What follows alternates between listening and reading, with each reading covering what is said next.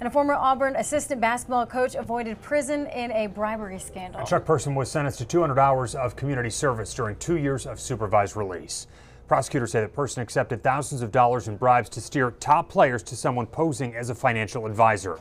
He previously pleaded guilty. Now, sentencing called for two years behind bars. Three of the other coaches caught up in the NCAA bribery scheme have also been sentenced, have already been sentenced.